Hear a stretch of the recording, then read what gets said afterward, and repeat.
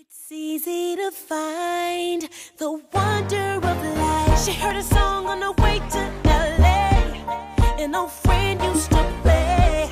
and nearly brought her to tears. They hadn't spoken in years. Checked in, then she raced through the crowd. There's only one seat left now. Out of everyone in